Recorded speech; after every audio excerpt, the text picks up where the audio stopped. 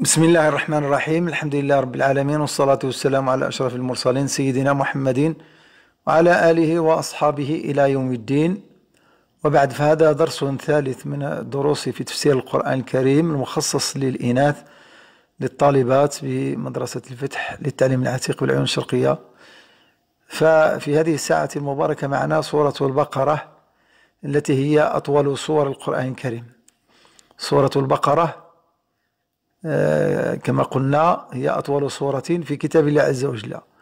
وثاني سورة في ترتيب المصحف بعد سورة الفاتحة آياتها مدنية. وسميت كذلك نسبة إلى ورود قصة بقرة بني إسرائيل فيها. وعدد آياتها مئتان وخمس وثمانون آية أو مئتان وست وثمانون آية على اختلاف العد المدني والمكي. تتخللها آية الكرسي التي هي أعظم آيات في كتاب الله عز وجل وفيها أطول آية في القرآن الكريم وهي آية الدين. وهذه السورة فضلها عظيم وثوابها جسيم فهي فسطاط القرآن الكريم وذلك لعظمتها وكثرة أحكامها ومواعظها. وقد تعلمها عمر بن الخطاب وحفظها آه، بفقهه رضي الله تعالى عنه وأرضاه وعلمه وسرعة آه، بداعته أو ذكائه ومع ذلك فقد مكث في حفظها 12 سنة وذلك ليطبقها وقد طبقها في حياته. وكذلك ابنه عبد الله بن عمر مكث في حفظها ثمان سنين. وهكذا كان الصحابة رضوان الله تعالى عليهم يتعاملون مع القرآن الكريم حفظا وتلاوة وتطبيقا. فلها فضل كبير آه، في الحديث كما في حديث النواس بن سمعان في صحيح مسلم أنه قال سمعت الرسول صلى الله عليه وسلم يقول يؤتى بالقرآن يوم القيامة وأهله الذين كانوا يعملون به تقدمه سورة البقرة وال عمران. وضرب لهما رسول الله صلى الله عليه وسلم ثلاثة أمثال آه، ما نسيتهن بعد يقول آه، هذا الصحابي الجليل قال كأنهما غمامتان أو ضلتان سوداوان بينهما شرق أو كأنهما حزقان من طير صواف تحاجان عن صاحبهما. وهذه الصورة تطرد الشيطان والوسواس من نفس وبيت قارئها. فعن أبي هريرة رضي الله عنه الرسول صلى الله عليه وسلم قال لا تجعلوا بيوتكم قبورا فإن البيت الذي تقرأ في سورة البقرة لا يدخله الشيطان. وختمت الصورة بآيتين لهما فضل كبير في حفظ المرء ودفع الكرب عنه. فعن أبي مسعود رضي الله عنه قال قال النبي صلى الله عليه وسلم من قرأ بالآيتين من آخر سورة البقرة في ليلة كفتاه. رواه البخاري. وهذه الصورة صورة البقرة آه، تحدثت عن أحكام وعن قصص كثيرة. آه، بعض الأحكام الواردة في سورة البقرة آية الطلاق وأحكامه آه، بينت الصورة مدة الرضاعة وحقوقها بينت وذكرت بعض مبادئ الحرب وفضل آية الصيام وبيان حكمه وما يتعلق بفدية المرضى. والمسافرين ذكرت حكم اليمين وكفارته ذكرت عدة المرأة المتوفى عنها زوجها وأحكام خطبتها بينت أركان الحج وأحكامه كالوقوف بعرفة ورمي الجمار ووضحت كذلك فضل الصدقة وفصلت في النفقة وفضلها ثم شرحت آيات الربا وبينت حكمه وضعت أساسا لمبدأ الدين من إحضار, إحضار للشهود وكتابة ذلك. وكذلك اشتملت على القصص القصص في سورة البقرة. أي هذه السورة ذكرت قصة الاستخلاف في الأرض وسجود الملائكة لسيدنا آدم. فصلت قصص بني إسرائيل من بداية نجاتهم من فرعون وخروجهم من أرضهم. وكذلك طلبهم للسقيا والطعام من موسى عليه السلام. وذكرت انشقاق الحجر له. وكيف عبدوا الحجل واتخذوه إله من دون الله. ثم أشرت الصورة إلى قصة أصحاب السبت وبينت قصة بقرة بني إسرائيل وقصة بناء سيدنا إبراهيم وإسماعيل عليه السلام الكعبة المشرفة. ثم تحدثت عن حادثة تحويل وجه وجهة القبلة من المسجد الأقصى الكعبة المشرفة. ثم قصة سيدنا إبراهيم مع النمرود ثم قصة الرجل الصالح الذي مر على القرية الخاوية وقصة طالوت وجالوت وهكذا. ثم يقول الله إذن يقول الله عز وجل أعوذ بالله من الشيطان الرجيم بسم الله الرحمن الرحيم. ألف لام ميم. ألف لام ميم. هذه الحروف المقطعة وردت في 29 سورة من القرآن الكريم. هي ألف لام ميم في صور آه، البقرة آل عمران آل عمران عنكبوت الروم لقمان سجدة. آه، ألف لام را. ألف لام را في صور يونس هود يوسف إبراهيم الحجر. ثم ألف لام ميم صاد في سورة الأعراف ثم حاميم في صور غافر فصلت الشورى الزخرف الدخان الجاثية الأحقاف. ثم ألف لام ميم را في سورة الرعد. ثم طسم في سورة الشعراء القصص. ثم طس في سورة النمل. ثم طه في سورة طه. آه ياسين. آه كاف هاء عين صاد نون قاف صاد آه حاميم عيسين قاف. وفي سورة الشورى. وهذه الحروف هي أربعة عشر حرفا. وعدد حروف أيضا أربعة عشر حرفا. وهي نصف حروف اللغة العربية. وهي مرموز له بنص حكيم قاطع له سر. نص معناه أن القرآن الكريم مصدر تشريع وحكيم محكم حكيم في أمره ونهيه ونهيه سبحانه وتعالى. لا يأتيه الباطل من بين يديه ولا من خلفه تزيل من حكيم حميد. وقاطع أنه قطعي الثبوت وله سر أي فيه أسرار لا يعلمها إلا, إلا أهل الفن إلا العالم إلا العلماء. وهذه الحروف المقطعة إذن تشكل نصف كل نوع من أنواع الحروف العربية.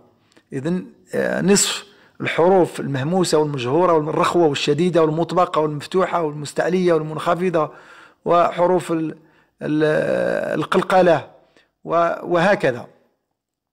ثم الأحرف هذه الأحرف منها ما تمد مدا طبيعيا وجمعت في العبارة حي طهور. ومن هذه الحروف ما تمد ست حركات. جمعت في العبارة عسلكم نقص.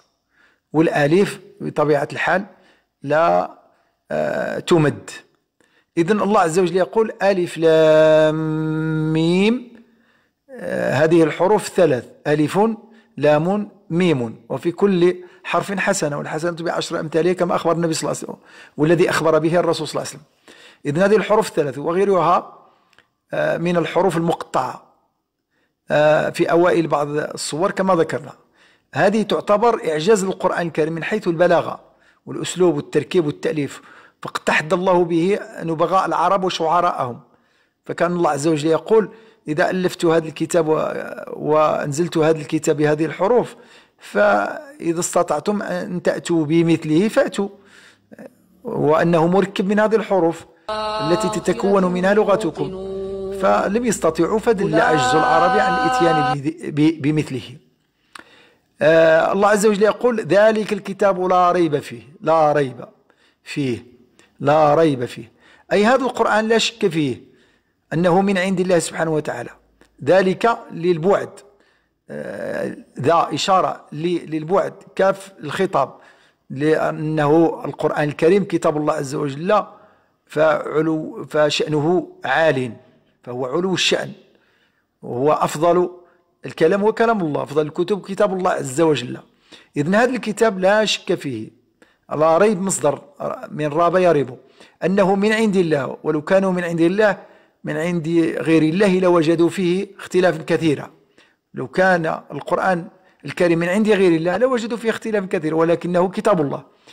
وهذا الكتاب الذي لا ريب فيه فهو سيكون هدى لمن؟ للمتقين. هداية لأن الهداية على نوعين هداية إرشاد وهداية توفيق. فهؤلاء المتقون حصلوا على هداية إرشاد وحصلوا على هداية توفيق. فانتفعوا بهذا القرآن الكريم عملا وتطبيقا ثم يقول الله عز وجل الذين يؤمنون بالغيب أي الذين يصدقون بكل ما غاب عن حواسهم وما يكون في يوم القيامة من جنة ونار حشر وهول صراط وقبر وغير ذلك. وهؤلاء يؤمنون بالغيب. الغيب ما غاب عنك ما غاب عنك وعن حواسك. ويؤمنون يصدقون بالغيب. ومن صفاتهم كذلك يقيمون الصلاة أي بمعنى أنهم يؤدونها هذه الصلاة في أوقاتها بركوعها وسجودها واطمئنانها واعتدالها. ومما رزقناهم الرزق يعود إلى الله عز وجل وأن الرازق هو الله. مما رزقهم الله عز وجل يبذلونه في سبيل الله يعطونه في سبيل الله يخرجون الصدقة الواجبة والمستحبة. الصدقة الواجبة كالزكاة والصدقة الواجبة كذلك والنفقة الواجبة كالنفقة على الوالدين والأولاد الصغار. والمستحبة في وجوه البر ووجوه الخير. ثم يقول الله عز وجل والذين يؤمنون بما أنزل إليك أي من صفاتهم. قيل تعود على المؤمنين قيل على أهل الكتاب والذين يؤمنون بما أنزل إليك يصدقون بالقرآن والسنة وما أنزل من قبلك التوراة والإنجيل والزبور. وبالآخرة وبالآخرة هم يوقنون. أي ويصدقون تصديقا جازما بالحياة الآخرة وما فيها من النعيم والعذاب والثواب والعقاب. وبالآخرة هم يوقن أولئك على هدى من ربهم. أي وهؤلاء العاملون بهذه الأوامر على هداية من ربهم سبحانه وتعالى. وأولئك هم المفلحون الفائزون الناجحون. لأنهم نجحوا لما عملوا بكتاب الله عز وجل وما أنزل على الرسول صلى الله عليه وسلم. وإن الذين كفروا سواء عليهم أنذرتهم أم لم تنذرهم لا يؤمنون. لما تحدث الله عز وجل عن المؤمنين انتقل الحديث عن الكفار. الكافر هو الذي يغطي الإيمان. فيقول الله عز وجل إن الذين كفروا سواء عليهم أنذرتهم أي خوفتهم أم لم تخوفهم فهم لا يؤمنون. سواء خوفتهم أم لم تخوفهم لا يصدقون. آه إن الذين كفروا سواء علموا أنذرتهم أم لم تنذرهم لا يؤمنون. ختم الله على قلوبهم وعلى أسمعهم وعلى أبصارهم غشاوة ولهم عذاب عظيم. أي غطى الله سمعهم فلا يسمعون التوحيد ولا يسمعون الخير وطبع على أبصارهم فلا يبصرون الحق. والخير. وطبع الله على قلوبهم فهم لا يتعظون. أي قلوبهم مقفلة. ثم يقول الله عز وجل ومن الناس من يقول آمنا بالله وباليوم الآخر وما هم بمؤمنين. ومن الناس من يقول أي والمنافقون انتقل إلى الحديث عن عن صفات المنافقين. إذا تحدث الله عن صفات المؤمنين ثم تحدث عن صفات الكفار ثم تحدث عن المنافقين. ومن الناس من يقول أي المنافقون يقولون بلسانهم آمنا بالله وباليوم الآخر. آمنا بالله وباليوم الآخر. والإيمان له شروط وله علامات فهذا ادعاء. والله عز وجل يقول وما هم بمؤمنين؟ أي وما هم بمصدقين؟ فقد آمنوا بلسانهم ولم يدخل الإيمان إلى قلوبهم بل في قلوبهم الكفر في قلوبهم البغض للدين وللإسلام في قلوبهم الكفر. هناك فرق بين من استقر الإيمان في قلبه وآمن به وصدقه وعمل به.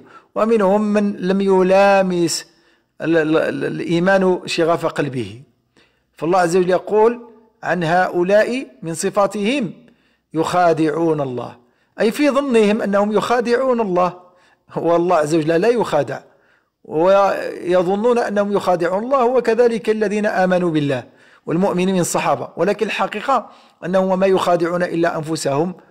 وعاقبة خداعهم تعود عليهم الضر يعود عليهم الهلاك يعود عليهم.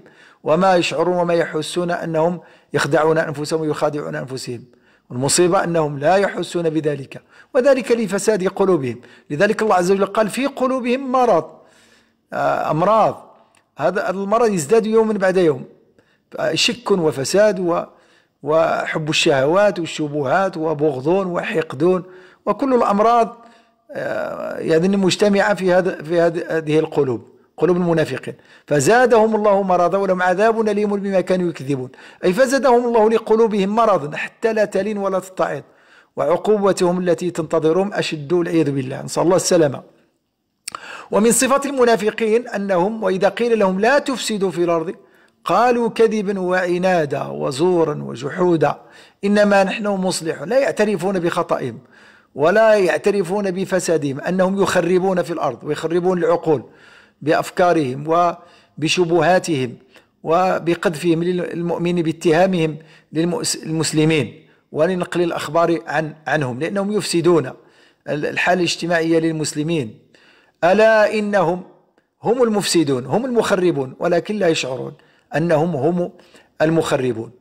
وإذا قيل لهم آمنوا كما آمن الناس أي صدقوا برسوله بمحمد صلى الله عليه وسلم وما أنزل إليه من الوحي مثلما صدقه الصحابة رضوان الله تعالى عليهم قولا وفعلا وعملا قالوا استهزاء أنؤمن كما أمن السفهاء. شبهوا الصحابة بضعاف العقول الذين لا يعرفون مصلحتهم ولا منفعتهم. فرض الله عليهم بقول ألا إنهم هم السفهاء هم ضعاف العقل الذين لا يجهلون مصالحهم ويجهلون منافعهم. ويضرون أنفسهم ولكن لا يعلمون أنهم هم السفهاء لما هم عليه من الضلال والخسران المبين. ومن صفات المنافقين وإذا لقوا الذين آمنوا قالوا آمنا. وإذا خلوا إلى شياطينهم أي إذا التقوا بأمثالهم في في الكفر والتقوا مع الكفار قالوا إن معكم إنما نحن مستهزئون. أي على طريقتكم ودينكم وخططكم. أي نستهزئ بالمؤمنين فقط. فنحن لا لسنا معهم قلبا. وقالبا وإنما في المظهر فقط. ونسخر منهم ونضحك عليهم. فالله عز وجل يقول الله يستهزئ بهم ويمدهم في طغيانهم يعمهون أي الله يقابلهم بالمثل فيفضحهم ويعاقبهم حتى يصيروا من المستهزئين بهم دنيا وأخرى يوم القيامة. يستهزأ بهم في الدنيا بالفضيحة ويستهزأ بهم في الآخرة حينما يدخل المؤمنون ويمرون على الصراط. وحينئذ ينطفئ النور على المنافقين فقالوا انظرونا نقتبس من نوركم قيل ارجعوا وراءكم فالتمسوا نورا. الله عز وجل يقول أولئك أي المنافقون من صفاتهم أنهم أولئك الذين اشتروا واستبدلوا استبدلوا. الإنسان عنده جوهرة فيستبدلها بحديد. عنده ذهب فيستبدله بحديد. أولئك الذين استبدلوا الضلالة بالهدى عندهم الإيمان فاستبدلوه بالكفر عندهم الإسلام التوحيد فاستبدلوه بالنفاق. أولئك الذين اشتروا الضلالة بالهدى يبدلوا الكفر بالإسلام وبذلك فما ربحت تجارتهم مع الله تعالى وما كانوا مهتدين إلى الحق. فالله عز وجل ضرب مثلا لهؤلاء مثلهم كمثل الذي استوقد نارا مثل المنافقين كمثل الذين هم في ظلمات فاحتاجوا إلى نار فلما وجدوها انطفأت عليهم. وهذه النار في نورها مثل وحي الله تعالى. فلما أضاءت ما حولها فلما أضاءت ما حولهم الإيمان انطفأت بكفرهم. والعياذ بالله. ذهب الله بنورهم وتركهم في ظلمات أي وهم في ظلمات ضلالهم. لا يبصرون الحق ولا يبصرون النور. صم عن سماع الحق بكم خرص عن النطق به وعن قول الحق وعن ذكر الله عز وجل وقراءة كتاب الله عز وجل. بكم عمي عن إبصار الحقيقة والحق والنور نور الوحي. فهم لا يرجعون. أي لذلك فهم لا يستطيعون يرجعوا إلى الإيمان إلى الإسلام إلى التوحيد الذين تخلوا عنه وتركوه بعد أن عرفوا أنه الحق وقد استبدلوه بالضلال.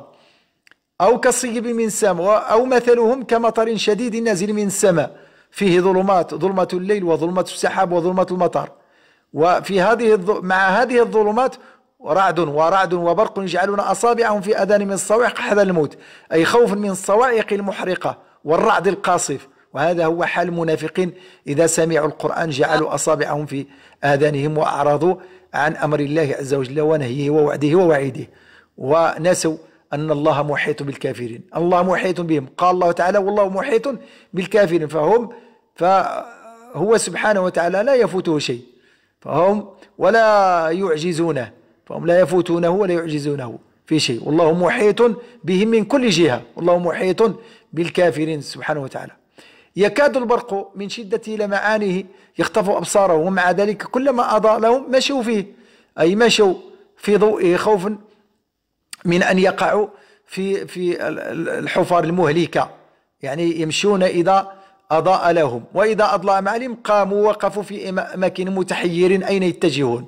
وهذا هو حال المنافقين يظهرون من الحق أحيانا ثم يشكون في أحيان أخرى فيرجعون عنه. ولو شاء الله لذهب بسمعهم وأبصارهم. أي لولا إمهال الله عز وجل آه، أن أمهلهم لسلب عليهم آه، فورا السمع والأبصار. إن الله على كل شيء قدير لا يعجزه شيء. فقدرته سبحانه وتعالى مطلقة لا يعجزه شيء في الأرض ولا في السماء. هذا وبالله التوفيق وصلى الله على سيدنا محمد وآله. الحمد لله رب العالمين.